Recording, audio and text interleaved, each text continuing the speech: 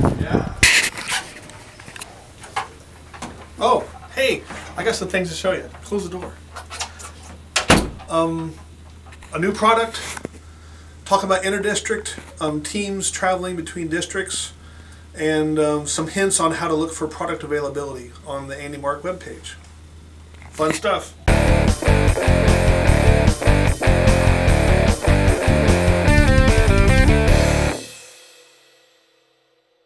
So we all know about the RoboRio. Everybody has a RoboRio now because it's after kickoff, and there should be some great success stories out there from RoboRio usage.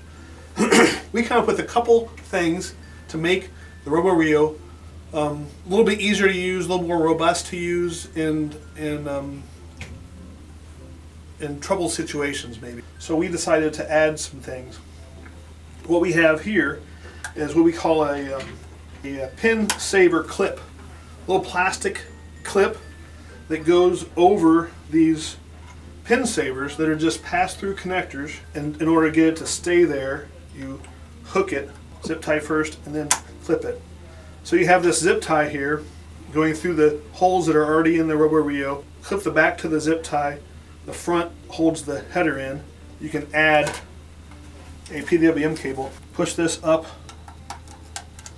through the zip tie ground nearest to the outside. So now you got a strain relief, a strain relief for your PWM.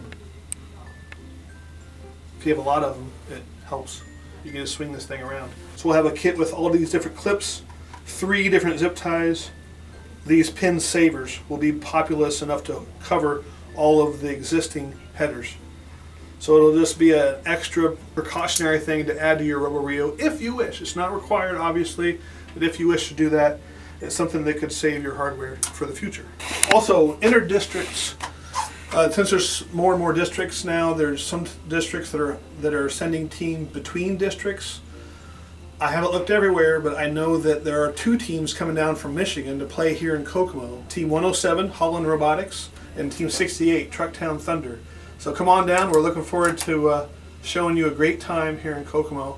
Um, I guess if we know of other teams hopping across districts, let us know. Send us a tweet. Dates on product pages. One thing that's kind of neat is if I go to the Mecanum wheel page, it doesn't say here on the layout when these will be back in stock. But I can go to or this kit of four wheels and it tells me it's going to be back in stock on January 16th, which is tomorrow. So go to the product page itself and we, we're trying to do a good job of putting that back in stock date on the product page itself. It won't be on the, the table or graph where you can still order parts from. So go to the product page and that's going to be the latest and greatest information. If you call in and ask, which we take those calls all the time, we're probably looking right there. Also got some good feedback from a few people. We asked yesterday what people were eating. Looks like the captains are eating shamrock shakes. So that's that's good. There is some nice pictures. It looks like this these guys found that goats were back in stock here at AndyMark. That's news to me. I don't think they're coming back in stock anytime soon. We like when people tweet back at us and give us some pictures. So this is kind of cool to see an AndyMark um, poster and parts from AndyMark being used in Turkey, like the country Turkey. So thumbs up to you. It was his 18th birthday. I don't know what team he's on, but he had some awesome chocolate cake, and they usually eat massive amounts of Chick-fil-A, Chipotle, and Smiling Moose Deli. Don't know where the Smiling Moose Deli is, but it's good that they're smiling. And the Zebracorn told us to do a good job of, of uh, communicating back to us. Obviously, they eat Little Debbie zebra cakes. I would too. Is your team a district team, and are you traveling between districts? And if you are, how'd you make that decision? It's kind of interesting. You're not getting any points for your district, but you're still wanting to play.